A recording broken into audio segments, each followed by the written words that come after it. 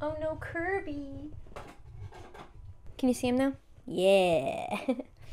Who thought this was a good idea? It is no secret that people on the internet are ruthless, and you think giving them anonymity is the way? Do you know how many times in my youth I looked up how to see anonymous Ask FM questions? Too many times, and spoiler alert, you can't. If you wanted to be absolutely annihilated for just breathing, Ask FM was the place for you. If you were popular though, this might have been a place of comfort because it was probably where you got a lot of validation from your admirers. You weren't? Yeah, me neither. Let me give you a refresher on this app, or maybe if you don't know what it is, let me tell you. AskFM was another attempt at a different social media style since it came out in 2010, where that was really a big boom for younger people having iPods and iPhones. You'd make an account, and then bear with me here, it gets, it gets a little complicated. Um, people would ask you questions. I don't know why that sounded so bitchy. I'm just gonna keep it. and when you would answer, it would actually show up on your profile, kind of like a modern day burn burn book kind of like a modern day burn book. I'm sure at the time this concept seemed like a pretty good idea. I assume they were probably trying to be like a different Twitter, but no, it, it was not. It was not a different type of Twitter. And uh, it just traumatized a lot of people. So, although Twitter has done that too.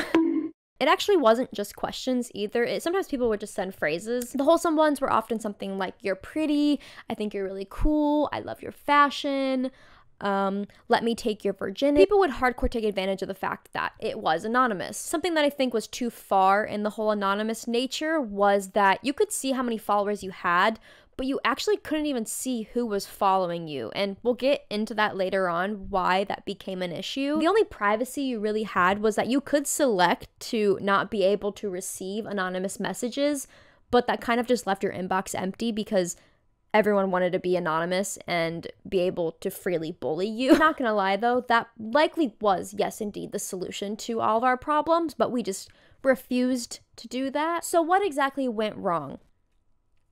Or better, what didn't go wrong? We're going to be talking a lot about the dangers of AskFM, but honestly, a lot of websites that you use can have pretty dangerous stuff on it. Thankfully, though, we have a sponsor for today that could actually limit the amount of stuff that you do come across on the internet that could be dangerous. Today's video is sponsored by Atlas VPN. Atlas VPN currently has 6 million users on it, and it was developed by the top cybersecurity specialists, which means you can definitely trust them. For just $1.99, you could be completely safe while doing everything you love to do on the internet. And there's even a 30 day money back guarantee. It allows you to unlock content from all over the world just by changing your location. Maybe you love watching Friends for background noise, but you live in the USA and only have Netflix. Well, Atlas VPN has your back for that. Or maybe you're searching on Google and you don't really know which sites might be the safest to use. Atlas VPN shows you the safe sites so you don't accidentally maybe click on an encrypted one, all while keeping your information very safe and so you won't be tracked. And of course, protection is super important, but it's actually an ad blocker as well. So now when you're looking for clothes or maybe looking at an article, you don't have to worry about a Katie pop up saying that she's looking for a good time. Katie, I know you're not looking for a good time with me. and my personal favorite is that they actually save you money. It will show you the current best deals on whatever website you're on. This even works for subscriptions like Hulu, Netflix, Spotify. It won't just protect you on one device either, it can protect you on all of them. So click on the description below if you want a VPN that is super safe and one that you can trust. And with that, let's move on. Yes. So we briefed upon the anonymous nature of this site, right? Well, that being the entire premise was also what made it such a horrible experience. It all sounded super fun at the time. When you're in middle school, attention is a lovely thing, and it's what most of us actually craved. So the idea that you could just pop this link into an Instagram bio and you could get confessions, comments, questions, it was quite desirable. There was actually a time where when you had a crush on somebody, you would likely tell them on Ask FM because you didn't have to worry about the fear of rejection. on top of that, getting a crush confession not only made you happy because someone liked you, but you got to actually show that off on your profile when you replied to it. Because again, all your replies were public. I will say though, I know, I know some of y'all out there would write to yourself. I may have as well. Important thing to mention, you could write to yourself and when you replied to yourself, it looked as if any other person actually wrote to you. It doesn't it doesn't show that you wrote it to yourself. You usually did this if you didn't want people to know that you weren't getting asked things or maybe people were asking you things and it wasn't really what you what you wanted to project onto your profile so sometimes you would just sneakily write up your own question and answer it again i was extremely guilty of this and i even remember one day i was so excited because i saw that i had one message in my inbox just for it to say quote i know you're writing these to yourself period end quote and I cried. I will say though, not all of them, most of them, but not all of them. So, joke's on you, I guess. How embarrassing. So, not only was I getting bullied, but I was also growing deep insecurities of never feeling good enough. Middle school, though, was a very horny time, and to say that this didn't occasionally get creepily sexual would be wrong. My Catholic middle school had some gross boys in it. I would be messaged to make my uniform skirt shorter, was told to wear colored bras under my white polo, told to stop wearing shorts under said skirts. The list goes on and on. It didn't happen to me, at least that I know of or remember, but it wasn't uncommon for older people to find these young high school, middle school Ask FM links in their Instagram bios and flooding the inboxes with very inappropriate question and comments. Absolute shocker, more pedophilia coming to the front lines of our youth. But I feel like most of our experiences have somewhat to do with bullying. It's just too perfect of an opportunity. No consequences to your actions, all while being in the comfort of your own bed while your extremist Christian mother cheats on your pastor dad one room over. Hell yeah. Kids are assholes. Even if you think you weren't one, you were just in your own ways, and that's okay. Unless you're still an asshole, then I don't know, go to therapy or something, get that figured out. In my opinion, this was one of the last generations where vulgarity and problematic insults were just okay. Now I feel like we've gotten better at putting people in their place and it's just overall less praised. But joke's on you, Jack, I actually am somewhat gay and have probably had more girls than you. Girls and boys were different in their own ways with how they actually used Ask FM. At least for the most part, I was able to usually tell a difference. Girls' bullying was often more thought out. They they always knew what would sting, you know? Boys would just be like, You're fat, cow. Like, ouch. What the fuck? It was really cute though because I'd be forced to pray every single day next to the same people leaving me all of these very horrible messages.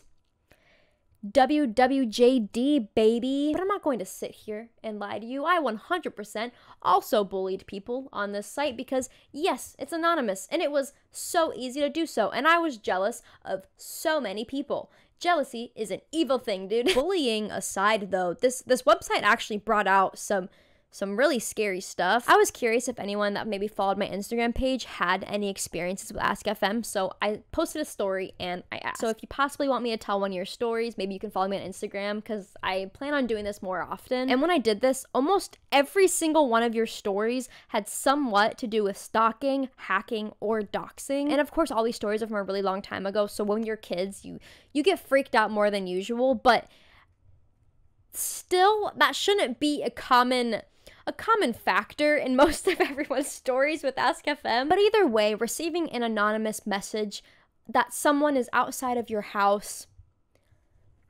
it's it's gonna scare you no matter what. One girl actually reached out to me and she wanted to stay private, which I 100% understand. But she had a whole stalker story that had the police involved and everything. A few other stories that I heard of is that sometimes maybe people would get really weird messages and they would reply thinking it was nothing, and then like not even a minute later they would have a message in their inbox saying their full name, date of birth, school, address, IP address, phone number. Like even if you're not a young teenager, that should freak you out. I don't know how secure the site was, but hearing so many stories similar to this makes me think that it wasn't.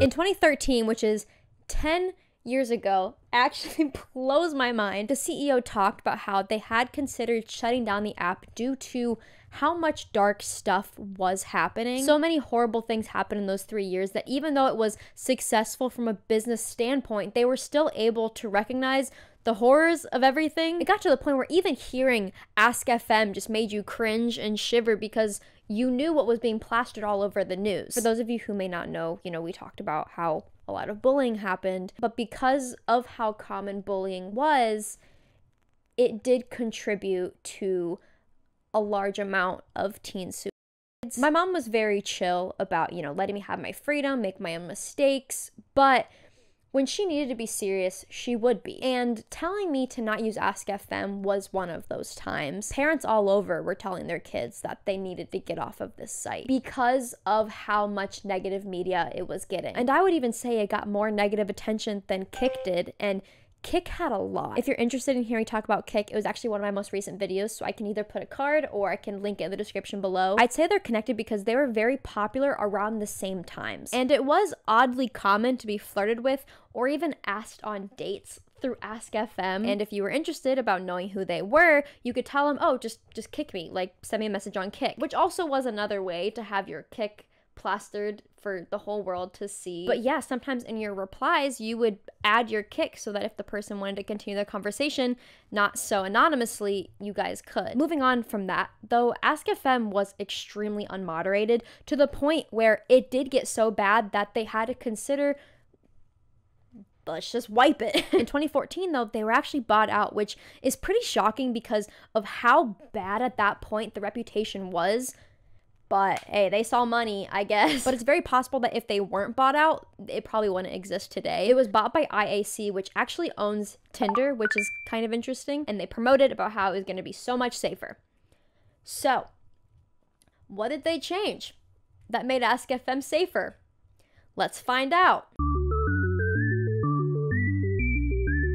I thought the best thing to do to kind of really help my understanding of what new Ask FM is like is go to the App Store, aka the reviews.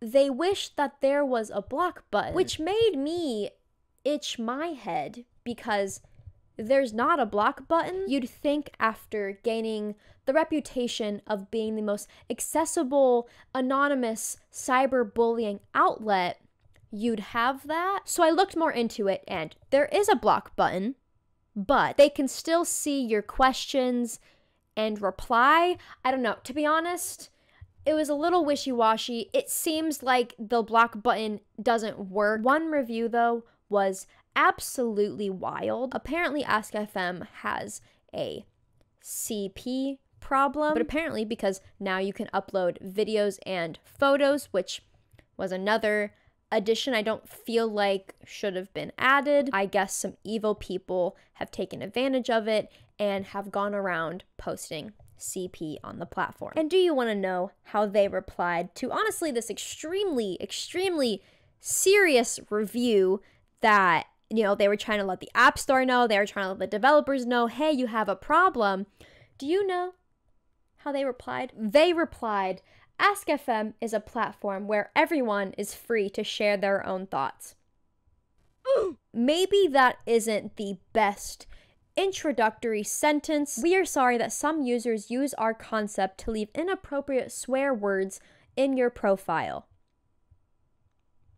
inappropriate swear words is not what this person is concerned about. And it's not what you should be concerned about either. If some person keeps bothering you, you can block them yourself as well. If you need our help to do it, please write us.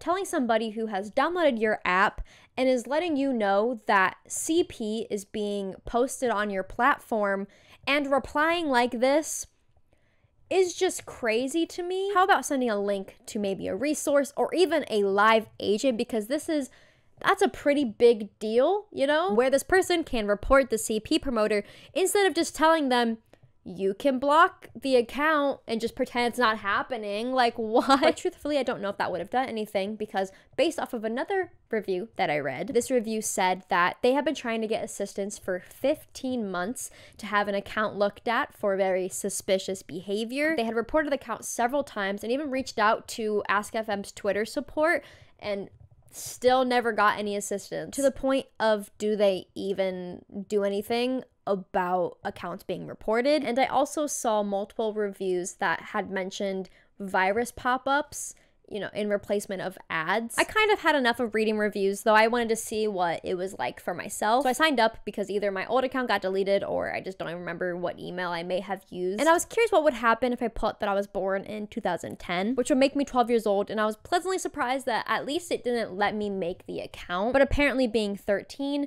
is okay, even though it says 17 plus on the App Store. I wanted to see what the app looked like when I said I was 13, so I went back and oddly enough, after I signed out and everything, I went to go make a new account. For some reason, it just didn't ask me for my age again. I don't know if it used my IP address to detect I have no idea. But then, oddly enough, too, later on, I got another screen that asked if I was under 18 or above 18, and I selected under 18. Similar to Kik, they promote sexual ads while still saying that minors can use the app, even going out of their way to reply to complaints like this. We are sorry to hear that you're not happy with our ads on AskFM. Please be aware that these ads help us improve AskFM and develop new features.